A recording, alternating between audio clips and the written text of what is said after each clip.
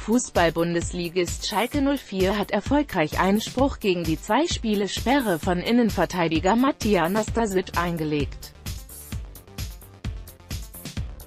Das Sportgericht des Deutschen Fußballbundes DFB reduzierte die Strafe gegen den Serben auf ein Bundesligaspiel. Das teilte der Verband am Freitag nach einer mündlichen Verhandlung mit.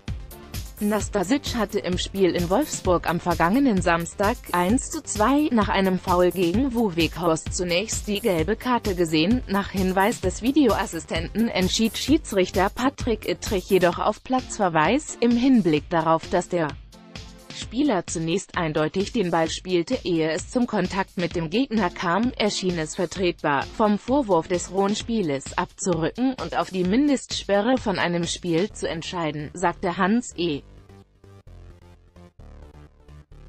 Lorenz, Vorsitzender des DFB-Sportgerichts.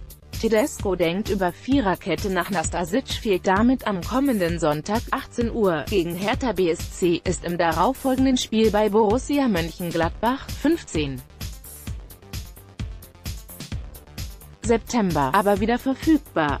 Aufgrund dieser Rotsperre verfügt Schalke-Coach Domenico Tedesco gegen die Berliner Inaldo und Salif Sarno über zwei Innenverteidiger. So ist es gut möglich, dass Tedesco von der sonst üblichen Dreier- auf eine Vierer-Abwehrkette umstellt. Dann könnten Neuzugang Hamza Mendül oder Abdulrahman Baba links verteidigen und Daniel Caligiuri oder Weston McKenney nach hinten rechts rücken.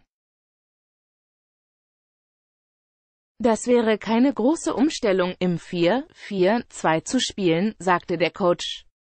Aber es wäre auch kein Problem weiter mit einer Dreierkette zu spielen. Wir haben einige Optionen und einen breiten Kader.